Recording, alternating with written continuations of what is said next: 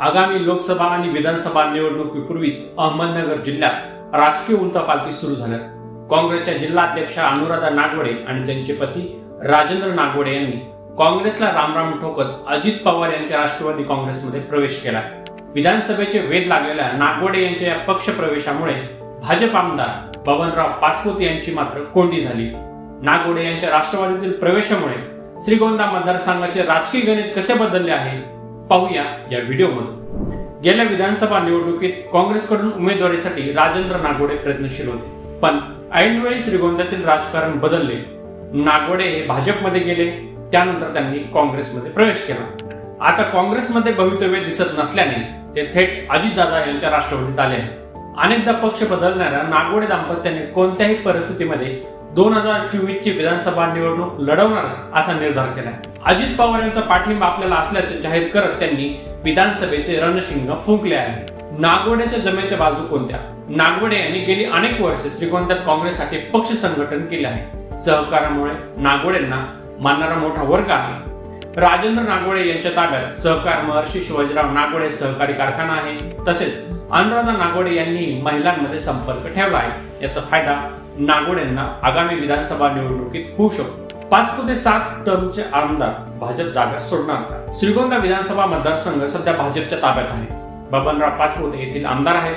दोन हजार चोवीसपर्यंत श्रीगोंदा मतदारसंघ बबनराव पाचपुते यांचा बाले किल्ला होता. एकोणीसशे ऐंशी एकोणीसशे पंच्याऐंशी एकोणीसशे नव्वद एकोणीसशे पंच्याण्णव दोन हजार चार दोन हजार नऊ आणि दोन हजार एकोणीस अशा निवडणुकांमध्ये जनता पक्ष जनता दल काँग्रेस अपक्ष राष्ट्रवादी काँग्रेस भाजप असे पाचपुते सात वेळा निवडून आले आहेत. तब्बल सात टर्म आमदार राहिलेले बबनराव पाचपुते दोन हजार चोवीसच्या विधानसभेसाठी पुन्हा तयारी करत आहेत. मात्र प्रकृतीच्या कारणास्तव ते माघार घेऊ शकतात.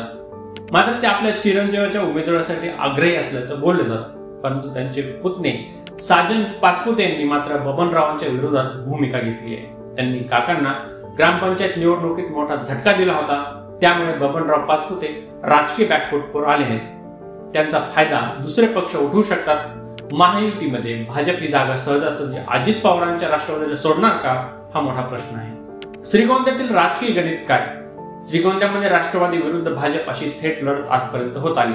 मात्र मध्यंतरीच्या काळात राजकीय पक्षामध्ये झालेल्या फुटीमुळे या मतदारसंघाचे गणित फिसकटले आहे. राष्ट्रवादीमध्ये फूट पडल्यानंतर आता शरद पवार गटाकडून माजी आमदार राहुल जगताप हे उमेदवारीच्या तयारी करत आहेत. तर अजित पवार गटाकडून अनुराधा नागोडे तयारी करत आहेत. या मतदारसंघात बीआरएसकडून घनश्याम अण्णा शेलार देखील विधानसभा लढवण्याची तयारी करत आहे पण बीआरएस ला स्वतःचे राज्य राखता आले नाही. त्यामुळे शेलारांची भविष्यातील राजकीय भूमिका अद्याप स्पष्ट नाही. पाचपुते जगताप नागोडे शेलार असे प्रबळ दावेदार या मतदारसंघातून इच्छुक आहे कर्डिलांचा शब्दही महत्त्वाचा नगर तालुक्यातील चिचुंडी पाटील आणि वाळकी जिल्हा परिषद गटातील गावे श्रीगोंदा मतदारसंघात जोडलेली आहे या भागात नगर जिल्हा बँकेचे अध्यक्ष शिवाजीराव कर्डिले यांचे वर्चस्व आहे. त्यामुळे नगर तालुक्यातील राजकीय मतांचे गणित बघता श्रीगोंद्यातील उमेदवार कोण द्यायचा यात कर्डिलेंचा शब्दही महत्त्वाचा असतो. या मतदारसंघात अद्याप उमेदवारीसाठी कोणत्याही नावाची घोषणा झाली नसली तरी देखील यंदाची श्रीगोंदा विधानसभा निवडणूक जोरदार होणार हे मात्र नक्की. श्रीगोंदा विधानसभा मतदारसंघाबद्दल तुम्हाला काय वाटतं हे आम्हाला कमेंट करून नक्की कळवा आणि अशाच प्रकारचे व्हिडिओ पाहण्यासाठी लेट्सअपच्या यूट्यूब चॅनलला सबस्क्राईब करा आणि फेसबुक आणि इंस्टाग्रामवरती फॉलो करा.